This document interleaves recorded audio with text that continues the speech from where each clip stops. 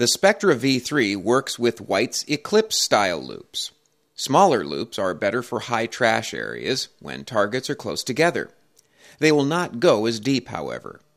Larger loops go deeper but are more difficult to use in high trash areas. The Spectra V3 is provided with two battery systems a battery pack, which houses eight AA batteries with a blue decal, and a nickel metal hydride rechargeable pack with the orange decal.